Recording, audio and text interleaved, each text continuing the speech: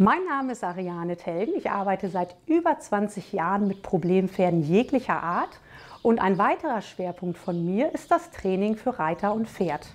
Hier unterstütze ich turnierambitionierte Reiter bis zur schweren Klasse, aber auch den Freizeitbereich in der Gesunderhaltung und Gelassenheit.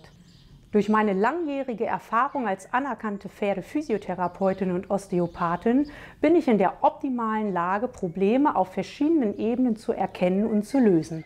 Um dieses auch über weite Entfernungen möglich zu machen, biete ich die Online-Beratung oder auch die Online-Betreuung an.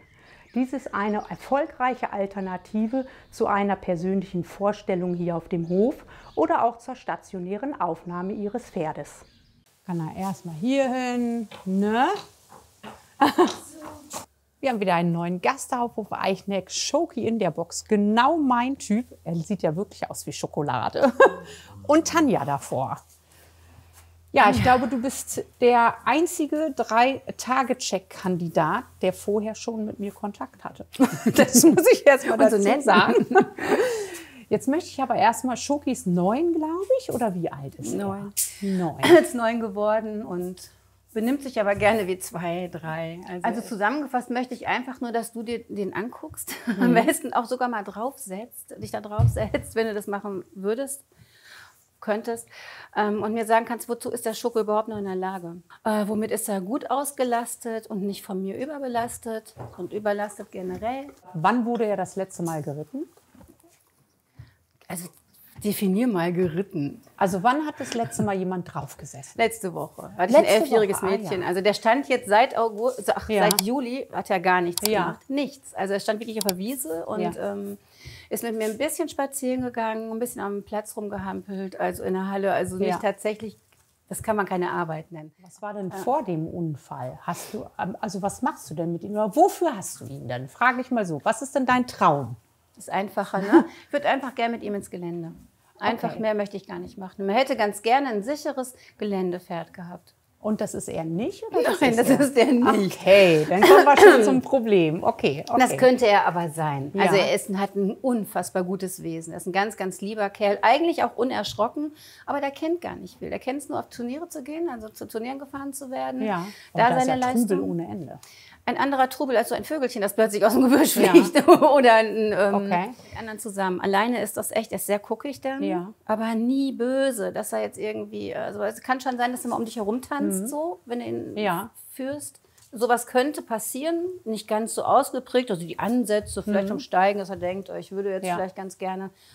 Er ist ähm, entgegenkommt eigentlich immer Ja. oder immer, er hört irgendwann immer wieder zu. Der ist Also quasi sauer geritten und ja ohne also als klar- bedingt reitbar. bedingt reitbar, Okay. ohne klare Diagnose. Ja. Also es gab keine Diagnose, beziehungsweise er wurde untersucht, aber es, die, die Untersuchung ergab keine Diagnose. Mhm. Er hatte eine Chip-OP, er hatte einen Fesselträgerschaden, aber alles auskuriert. Mhm. Ist ins Hindernis gestürzt, aber ich wollte ihm einfach Ruhe geben, sich zu erholen. Weißt du, ich wollte ihm einfach Ruhe geben, das Köpfchen frei zu kriegen, Mhm. gar nichts machen zu müssen, mich nur als Freund zu sehen, anzunehmen Ja. und zu sagen, ey, da kommt die Tanja, wie cool, ich freue mich ja drauf und lass mich dann auch auf mehr ein, auf was Neues ein. Das hat ganz gut funktioniert. Entspanntes, nettes Freizeitreiter und Pferdepaar werden. Das wäre so das, was Okay. ich mir wünschen würde. Dann, wenn ich es jetzt richtig verstehe, dann soll ich gucken, ob körperlich irgendwas ist, was vielleicht so ein bisschen seine Schreckhaftigkeit erklären würde. Und wenn ich es jetzt noch weiter in Genervt, meinem ne? Kopf spinne, wäre es auch ganz schön, wenn ich dir einen Weg mit an die Hand geben könnte, wie ich ihn zum Beispiel zu einem verlässlichen Freizeitpartner machen würde, wenn es mein Pferd wäre. Ja, Weil das geht, in drei Tagen kann ich das natürlich nicht, aber ich kann gucken, wie, wie kann man an ihn ran, wie kann man mit ihm arbeiten und wo hast du das denn, was du selber weitermachen kannst. Doppellonge sagst du, kennst du schon, Ja. das hast du mit ihm gemacht. Jetzt nicht exzessiv, ne? also so nicht. Aber er kennt es. Er kennt es auch vom Vorbesitzer. Ähm, ich arbeite nicht so gerne auf freiem Gelände draußen im Wald mit ihm. Das mm, mache ich eben nicht so ganz so gern. Ich habe mit ihm Weil aber intensiver gearbeitet bist in der oder ja, weil, ich du, weil du, weil er Ich- dann sich losreißt und abhaut. Oder du weißt es nicht. Ich. Okay. Also ich bin es dann eher. Also Ja. ich, das ist aber, das ist mir, das liegt an mir. Das ist Okay. nicht der Schoko. Das ist meine Unsicherheit. die, ich, die, die plötzlich aufkamen damit, dass ich eben nicht mehr so mobil war. Mhm.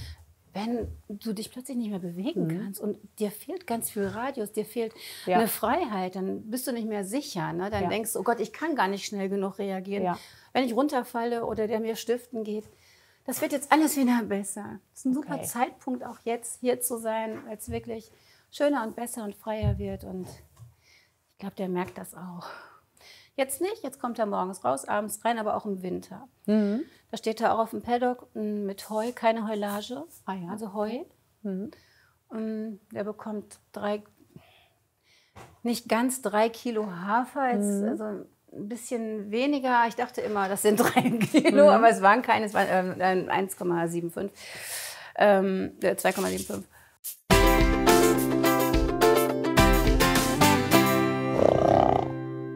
Steht ihr auf Stroh, auf Späne, auf Der steht leider auf Pellets, Stroh. auf- Ich möchte Mhm. das gar nicht, weil wenn die Heumenge nicht stimmt, worum man als Einsteller ja so schon mal kämpft, dann auch. Ja, Und das ist echt ein Drama. Das Dann- kennen ganz viele. Ja, ich, da es fast alle Ställe so halten, ist das auch kein Wunder. Ja. Ne? Ähm, frisst er das Stroh. Und ich bin nicht der Meinung, dass es ihm in diesen Mengen gut tut, wenn er das dann frisst. Ne? Also, Jetzt ja hier, wie er sich hier verhält. Ich habe natürlich schon 10.000 Variationen im Kopf. 10.000 auch schon, an Baustellen den, ja, auch schon von den Videos. Ja. Deswegen frage ich immer so ein bisschen.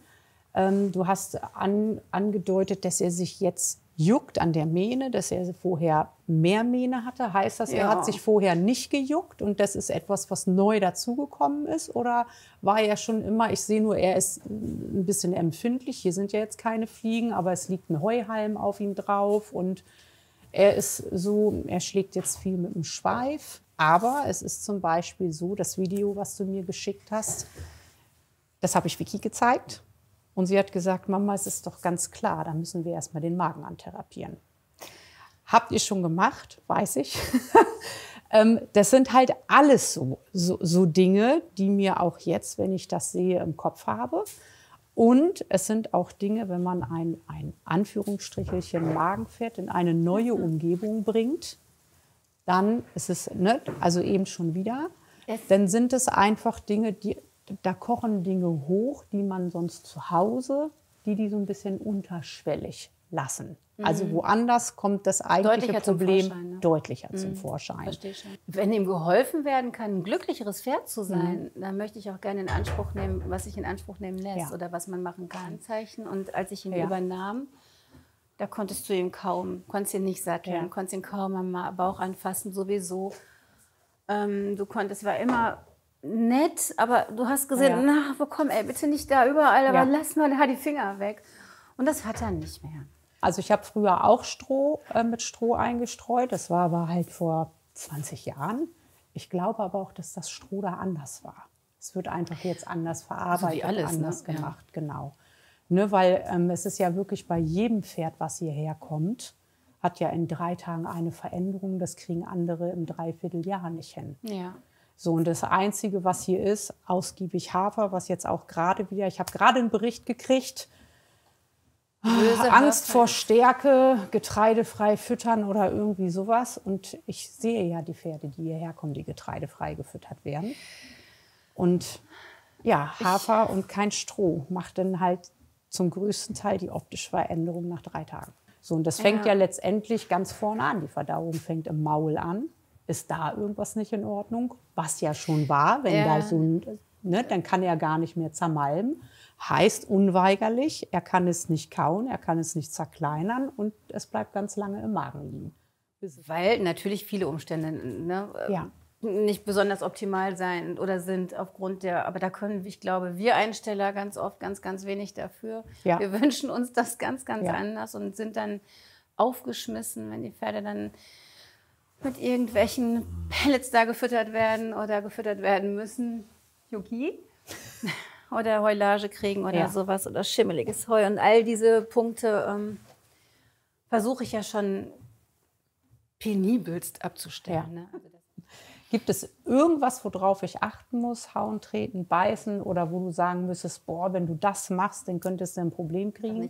Was er nicht gut ab kann, ist zwischen zwei Stricken angebunden sein. Mhm. Okay. Also da kann er nicht, ähm, da kommt er nicht mit klar. Der hing auch beim Vorbesitzer in diesen Stricken, hat sich da wohl auch ziemlich wehgetan. Die hatten so einen Ständer auch noch, Ja. irgendwie ganz seltsam konstruiert. Das, also beim Anbinden kann es manchmal sein, wenn er Angst kriegt oder vor einer Situation, ähm, dass er da einfach geradeaus geht. Okay. Das kann sein. Gut, das haben aber ganz viele, die, die so eine Geschichte hinter sich haben. Das mache ich wirklich nur bei Pferden. Wir hatten jetzt letztens einen Spanier hier, der hat wirklich gebissen. Und wenn, damit ich da überhaupt irgendwo anfassen kann, habe ich den links und rechts angebunden, weil ansonsten wäre gar nichts machbar gewesen von um dich zu anfassen. schützen, ja, auf jeden Nein, Fall. das ist, also ich werde auf jeden Fall heute Abend sowieso ein Foto schicken, morgen früh ja auch. Und dann ähm, werde ich mal schauen, ob ich die Rabea herbewegen kann, wenn ich die Vermutung habe. Das würde ich dir aber auch sagen.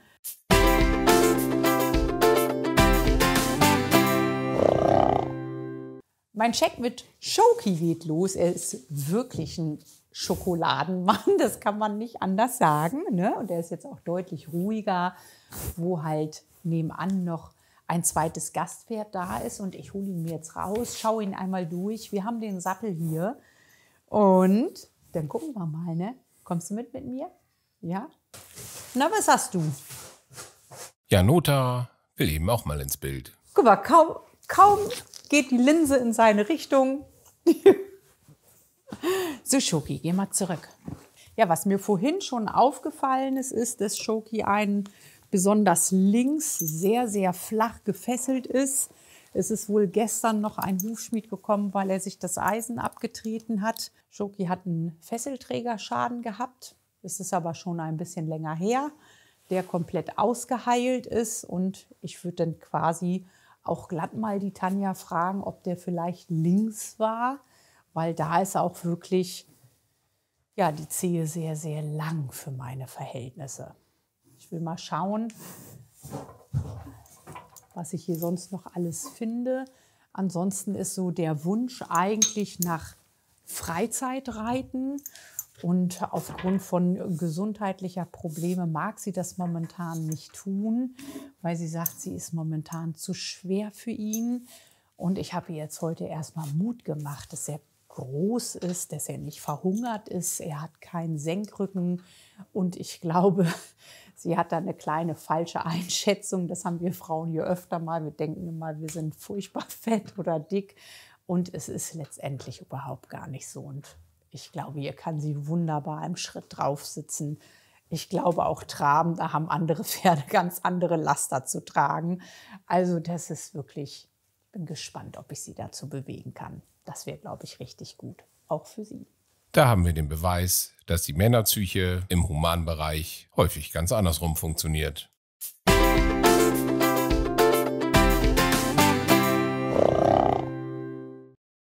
Ein ganz feiner, netter Kerl, wie ich jetzt so jetzt in, in den ersten paar Stunden hier feststellen kann. Für mich persönlich wirkt er sehr rund, sehr aufgedunsen. Vicky kam gerade eben mit Zito hier lang geritten und da merkt man schon ganz deutlich, da möchte er gerne hin, da möchte er auch gerne an mir vorbei. Also er würde mich jetzt auch so ein bisschen zur Seite schieben. Jetzt hat er ein bisschen was vor die Brust gekriegt und ich sage halt und er fängt sofort an zu kauen, zu schlecken. Er hat auch so ein Aufstoßgeräusch. So mein Süßer, komm her. Ich binde dich mal nicht an, dafür musst du aber auch stehen bleiben. Ne? So ist fein. So laut Aussage von der Tanja hat er dieses Jahr im Sommer auch angefangen, sich die Mähne zu scheuern. Das heißt, die ist ganz wenig geworden. Halt. Und ich versuche immer viele Puzzlestücke. Halt! Viele Puzzlestücke zusammenzusetzen. Das heißt zum einen natürlich das viele Schlecken, das aufstoßende Geräusch, Mähne schubbern, aufgedunsener Bauch. Man sieht das eigentlich ganz schön, dass wirklich diese Partie hier ähm, zum einen sehr, sehr hart und sehr, sehr prall ist und natürlich auch sehr voluminös aussieht. So, und was ich jetzt hier so ein bisschen unterschwellig sehe, ich weiß nicht, ob wir das einfangen können, ähm, sind überall hier so ganz kleine, komm mal hier hin, sind überall hier im Unterhautgewebe so kleine Beulen. Also das sieht wirklich so wie ganz viele Mückenstiche, aber halt von innen aus. Gehe mal davon aus, dass das wirklich sehr viel Gewebswasser ist, was hier drin steckt in den Bereichen. So, hier haben wir eine schöne Schwellung. Das male ich gleich mal an. Mir ist vorhin auch schon ganz oft aufgefallen, dass sich der Shoki immer ganz oft ähm, hinter dem Ellbogenbereich beißt und zwickt und juckt. So, hier ist gar keine Fliege. Wirklich, hier ist nichts. Und er hat ein Verhalten, als wären hier Fliegen, die er wegmachen muss. Da ist eine. Eine einzige Fliege. Ja, du willst unbedingt in die Kamera, ne? Hm? So, komm mal her. Und halt. Jo, passiert nichts. Und wer sowas schon mal im Schlafzimmer hatte, der weiß, dass auch schon eine Fliege tierisch nerven kann. Also gibt's jetzt erstmal ein paar Abwehrmaßnahmen. Gucke mal. So nur damit die Fliegen nicht auf dich draufgehen. Ha? Ja, nur damit die Fliegen hier schau. So, was mir jetzt hier auffällt, ist, wenn ich ihn hier hinstelle und ihn anfasse, ihn palpieren möchte. Geh mal zurück. Dass er die, die Lippen ganz fest aufeinander presst. Die sind also gar nicht entspannt. Die Oberlippe ist eher so ein bisschen vor. Die Unterlippe ist ein bisschen geriffelt und die sind ganz fest aufeinander. Und er hat sichtlich Unruhe. Hinten in der Nierenpartie, gerade auf dieser Seite hier, sieht man, wenn man von hier guckt, eine kleine Schwellung. Also es ist, als wenn das Fell so gegen den Strich aufgeraut ist. So, hier ist es ordentlich angeschoppt, wie man sieht. Da ziehe ich ganz viel Gewebe vor mir her. So ist fein. Ist relativ warm. Also hier so im Schulter, Schulterblattbereich. Auf der anderen Seite auch.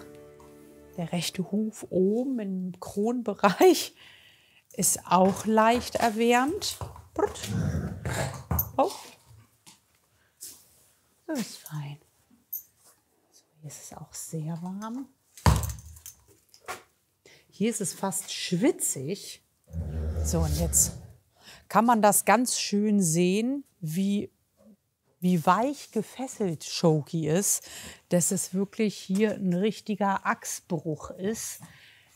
Das heißt, ich könnte mir vorstellen, er ist neun, es ist also noch ganz, ganz jung, dann hatte er einen Fesselträgerschaden und ich könnte mir vorstellen, dass man da über einen Beschlag sicherlich auch noch ganz viel machen kann. Was mir jetzt hier draußen auffällt, ist, dass er unruhiger wird, dass er anfängt, sich wirklich überall jucken zu wollen, dass er nicht wirklich auf, auf mich achtet, sondern einfach sein Ding macht und jetzt halt auch ein bisschen nervöser wird im Maul. Er versucht mich die ganze Zeit anzu, anzuschnuppeln, versucht auch mich anzustoßen.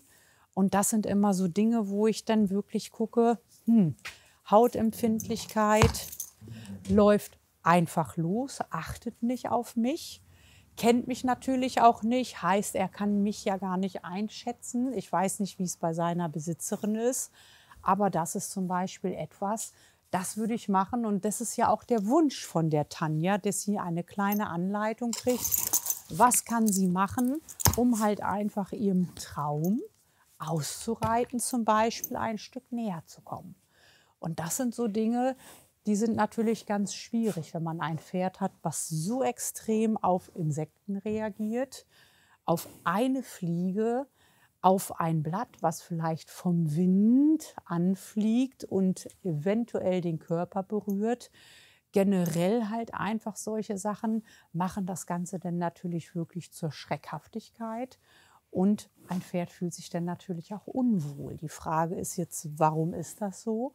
Wie können wir das beheben? Die würde ich doch, die würde ich, die würde ich ganz gerne dann besprechen und natürlich auch schauen, warum ist das so? Warum kann er sich nicht entspannt hinstellen? Und bis das geklärt ist, wird halt eben noch ein zusätzlicher Pferdehalter gebraucht. Das ist Shoki. Shoki ist neun. Und du hast ihn schon gesehen, er mag ganz gerne irgendwo durch die Gegend laufen. Der sieht aber jetzt nicht so ganz so robust aus. Also erstmal ab durch die Mitte. Super. Klasse. So, wo wir einmal Schwellung haben, hm, musst du rumholen. Ne? Das sieht man jetzt auch ganz schön. Also er geht wirklich einfach weiter. Und wenn man dann, so wie Vicky eben auch, sagt, nein, das möchte ich nicht, dann kriegt er eine ganz spitze Lippe vorn. So, wir haben, guck mal, das ist ein Stift. Ist nichts Schlimmes. Keine Spritze, nichts. Guck mal, alles gut. also ich glaube, er hat schon ein bisschen was durch. So, guck mal hier. Guck, nein, guck doch mal. Guck mal. Nee, ein, nur gucken, nur gucken. Hm? Soll ich ihn dir mal abnehmen? So, ich versuche jetzt mal Stellen anzumalen, aber alleine, dass ich diesen Stift in der Hand habe, reicht schon dazu aus, damit er völlig ignorant wird und ich meine wirklich ignorant, der läuft so durch mich durch und wenn ich ihn aufhalten will, dann macht er wirklich Ansätze zum Steigen und geht einfach weiter. Ich habe mir jetzt mal meine kleine Notbremse eingebaut. Ich befürchte aber, dass ihn das gar nicht aufhalten wird. Aber das finde ich schon krass. Also es ist wirklich nicht möglich, sich jetzt hier hinzustellen und das hätte ich nicht erwartet eigentlich. Das hätte ich wirklich nicht erwartet. So, süßer. Siehste. Andere Seite war auch die Schwellung. Die habe ich ja vorhin schon gefühlt. Hm. So, das mag er hier auch wirklich nicht. Da geht er runter. Gut, gut, gut. So. so. Das interessiert ihn alles gar nicht. Er geht dann halt einfach los und wenn man, wenn ich jetzt zum Beispiel ihn zurückrucke, dann ist es wirklich so, dass er mit seiner Lippe mal eben nicht beißt, ähm, aber schon so ein bisschen schnibbelt. So, da wo ich es angezeichnet habe, ist wirklich wie so eine längliche Blase, also so ein Oval. So, hier ist auch eine Schwellung, die ist auf der anderen Seite auch. So, und was ich meine, ist, wenn man das jetzt hier sich anguckt, das ist, guck mal hier, ist nichts Schlimmes, ne? Dann sieht man wirklich, dass das hier ganz stark gebrochen ist. Also das hat jetzt keine schöne Achse nach unten, sondern das Fesselbein ist wirklich und auch ja das Hufbein ist weit nach vorne und wenn er jetzt zurückgehen würde, dann würde er hier sehr weit durchtreten. Und da würde ich, glaube ich, gerade in seinem Alter wirklich was gegen tun.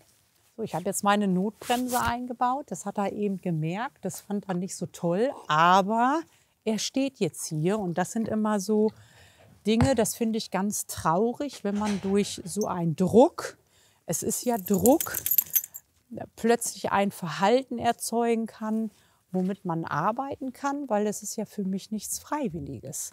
Das heißt, ich hätte es ganz gerne ohne so etwas. Aber da hätte er Vicky jetzt einfach umgelaufen, mich einfach umgelaufen. Ähm, er geht dann einfach mit dem, er geht dann einfach mit dem Kopf und mit der Nase unten auf die Erde und zieht einfach los. Das sind halt Dinge, die sehr gefährlich werden können. Und ich glaube, dass Pferde dadurch auch unsicher werden, wenn sie einfach zu viel selber entscheiden können. Das ist immer ganz unschön, weil ich muss natürlich einige Dinge machen. Und wenn denn ein, ein Pferd, sage ich mal so, einfach losläuft, was ich denn nicht anbinden kann, dann muss ich erst mal irgendwie zeigen, du, ähm, das funktioniert nicht. Du musst hier schon stehen bleiben.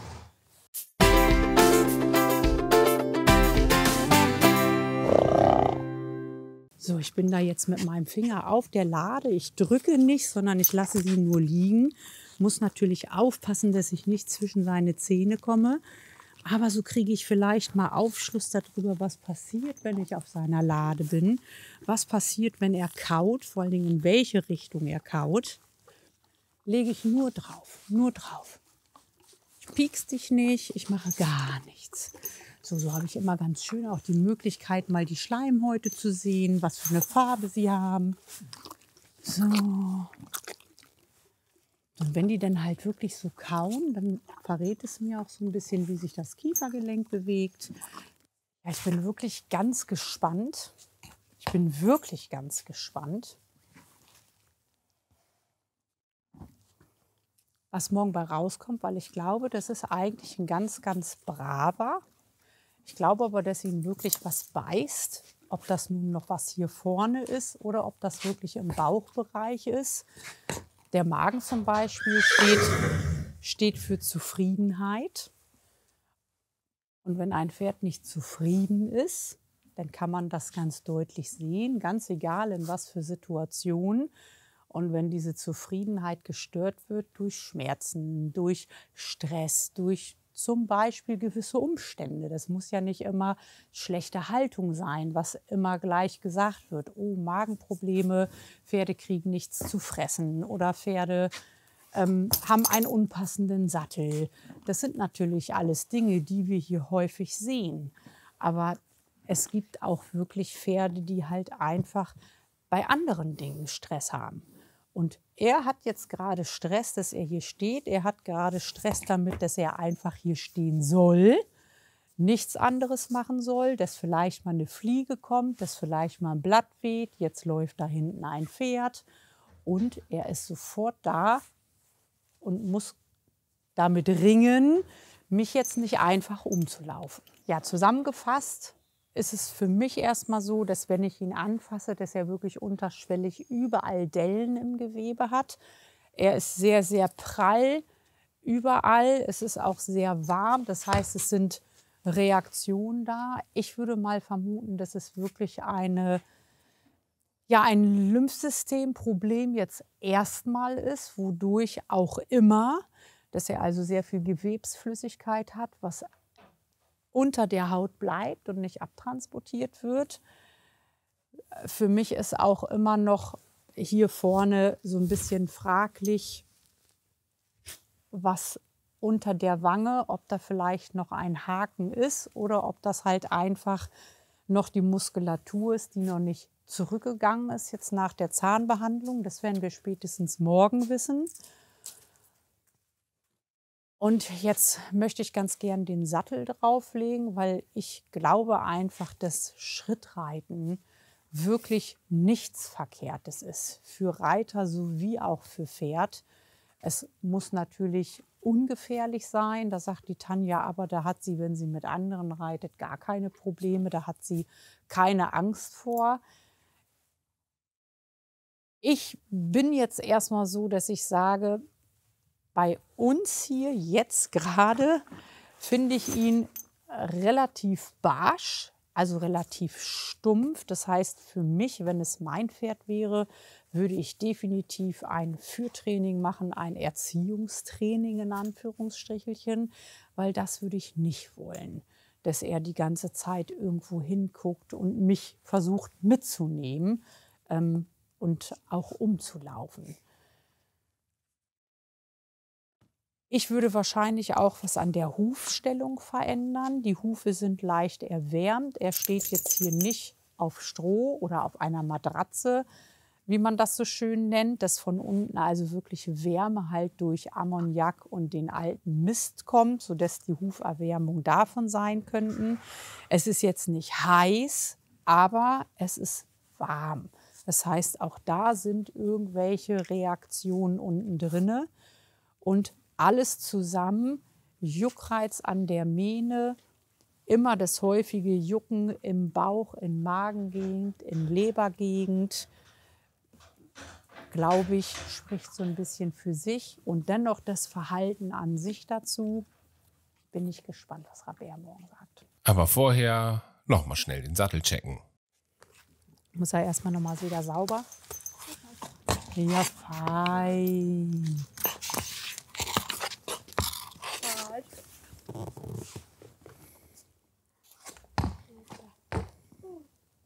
Ein Stück. Ja, auch so eine Sattel, so ein Sattel auflegen kann manchmal wirklich schwierig sein, besonders wenn Vicky nicht da ist. Ähm, normalerweise kann man natürlich links, rechts anbinden, keine Frage. Bei ihm kann man das jetzt halt nicht. So vorne ähm, direkt links und rechts am Widerrist, also hier auf der linken Seite, ist ein bisschen viel Druck. Es ist aber auch sehr prall gefüllt, die Polsterung. Ich weiß auch nicht, ob man in den Ortsspitzen vielleicht was ändern könnte. Unten im Schulterbereich, hier ist es wirklich eigentlich, also die, die Arbeitsweite vom Blatt her hier ist wirklich gut gegeben. Es ist wirklich nur hier oben. So, und wenn ich jetzt untergehe, komme ich ungefähr bis hier mit leichten, mit leichter Auflage. Und ab hier, hier gibt es dann ganz viel Druck. Das ist so die Hauptsitzbeinhöckerstelle. Und hinten ist es aber wieder gut. So, wenn ich mir das Ganze jetzt angucke, liegt der Sattel nach vorne runter. Das heißt, er zieht sich ein bisschen vorne rein. Würde der jetzt ein bisschen höher kommen, ich könnte mir vorstellen, wenn man nur durchs Gelände gehen will, geradeaus, eine Möglichkeit hat, vielleicht die Kammer so zu machen, dass er hier ein bisschen höher kommt. Wäre die Frage, ob er denn hier unten zu viel Druck kriegt oder ob man an der Polsterung einfach was machen kann, dass da hinten ein bisschen weggeht. Auf, auf dieser Seite hier ist in diesem Bereich hier eine Brücke. Da kann ich also wirklich die Hand durchschieben. Da, so durch. Oh, und hier gibt es so viel Druck, da sieht man schon, da ziehe ich den Sattel mit. So, und das, die Brücke fühle ich hier sogar in der Polsterung, weil hier ist nichts drin. Hier ist es stramm und hier kommt ein dickes Polsterloch in dem Bereich. Das ist der Bereich von der Brücke. Und auf der Seite auch. Da. Also, ich glaube, der Sattel ist es definitiv wert, das Ganze mal zu kommunizieren und eventuell abstellen zu können. So, ich habe jetzt den Luxus, dass ich eine Pferdehalterin habe. Und wenn ich mir jetzt den Shoki angucke von der Seite, dann sehe ich ein, ein, eine ganz kurze Gruppe, also quasi vom quasi alles gut. Von da bis da ist es ganz kurz und eher wie so ein Hund, der Angst hat, der den Schwanz einzieht. Dann kommt hier so ein geschwollenes, so ein geschwollenes Stück, was ich finde, was sehr präsent ist im Vergleich zu dem restlichen Pferd. Und die Sattelfläche oder der gesamte Rücken wirkt sehr, sehr kurz, äh, wirklich sehr kurz im Vergleich zum Hals zum Beispiel. Und der Hintern wirkt auch sehr kurz. Im männlichen Humanbereich auch nicht so selten. Ich könnte jetzt mit einer ganz großen Telgenfantasie, die ich ja häufig habe, mir erahnen, wenn wir den dicken Bauch weghaben, was auch immer da drin ist. Ich vermute, dass es schmerzhaft ist, dass er den Bauch hochziehen muss, dadurch hier hinten alles einzieht. Ich könnte mir vorstellen, wenn wir den Magen-Darm-Trakt schmerzfrei in Anführungsstrichelchen kriegen, dass sich diese ganze Partie hier entspannen kann, weil die ist hart und er eine längere, ein länger erscheinendes Gesamtbild kriegt. Das ist das, was meine Fantasie im Bild mir schickt. Und da bin ich gespannt, wie das Ganze übermorgen aussieht. Bin ich wirklich gespannt. Vielen, vielen Dank. Meine Liebe, du bist jetzt meine Superhalterin. Ich finde, du kannst den nächsten auch gleich halten. Dann geht es schneller. Komm, Shoki. Das hast du jetzt richtig toll gemacht. Ich fürchte mal, weil du Leckerlis in deiner Tasche hattest. richtig gut. Ja. So, halt. So, Erziehung fängt jetzt gerade an. er möchte natürlich gerne raus, aber er muss jetzt einmal kurz hier eben horchen. So schön, klasse. Prima. Gut so. Lass deinen Kopf da. Nein, halt. Ei, toll, klasse.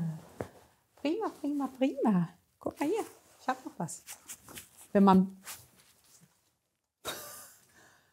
wenn man bei mir bleibt, kriegt man auch was. So, Leckerli geben. Er nimmt das ganz, ganz vorsichtig. Aber das letzte Stückchen fühlt sich so an, als wenn er das nicht kriegt.